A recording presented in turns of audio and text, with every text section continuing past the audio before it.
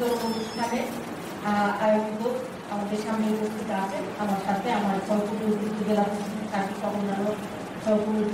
Islamic ফাউন্ডেশনের সাথে সংশ্লিষ্ট অন্যান্যরা। সামনে উপস্থিত প্রিন্ট এবং ইলেকট্রনিক সম্মানিত সাংবাদিকরা, আজকের উপকারভূমিরা আসসালামু আলাইকুম।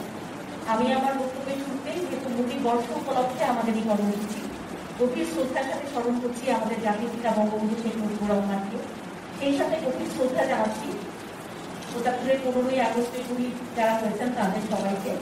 আর আজকে যেহেতু ঈদের আগের দিন আর সৌদি আরবে আজকে হচ্ছে আমি আপনাদের সবাইকে ঈদের অভিযোগ শুভেচ্ছা জানাই উপস্থিত প্রিন্ট এবং মিডিয়া সাংবাদিক কিন্তু আপনারা দেখেছেন যে বিশ সালের ষোলোই ডিসেম্বরে আমরা প্রথম কিস্তিতে দশটা রিক্সা দিয়েছিলাম।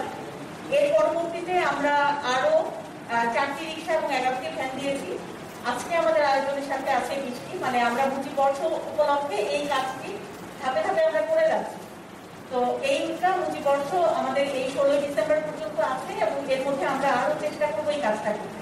আপনারা সবাই জানেন যে মাননীয় প্রধানমন্ত্রী বিভিন্ন সময় বলেছেন যেটা যে আমাদের জাতির পিতা স্বাধীন আপনাদেরকে একটা বাংলাদেশ দিয়েছে তখন তার যে আগ্রহটা ছিল যে ক্ষুধামুক্ত দারিদ্র আমাদের আমার বাড়ি আমার আহ, জেলা সমন্বয়কের মাধ্যমে বাছাই করছে এবং যেহেতু আপনারা অবগত আছেন মুজিব বর্ষ ষোলোই ডিসেম্বর এই বছর পর্যন্ত রয়েছে আমাদের কর্মসূচি রয়েছে। সুতরাং আপনারা যারা এখানে সমাবেত হয়েছেন এই বৃষ্টি বাদলের দিন, পবিত্র ঈদুল আজহার পূর্ব দিন সবাইকে ঈদের প্রশাসন রাজবাড়ী কর্তৃক আয়োজিত আজকের এই রিক্সা ভ্যান বিতরণ অনুষ্ঠানে সম্মানিত সভাপতি ও অতিরিক্ত জেলা প্রশাসক সার্বিক রাজবাড়ী মহোদয় এবং আজকের অনুষ্ঠানের প্রধান অতিথি রাজবাড়ী জেলার মান্যবর জেলা প্রশাসক জেলা বেগম।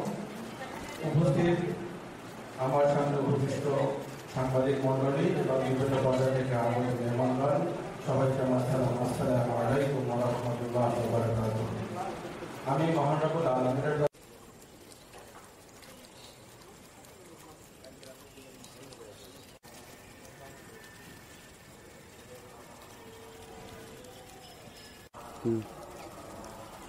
ঠিক আছে। ঠিক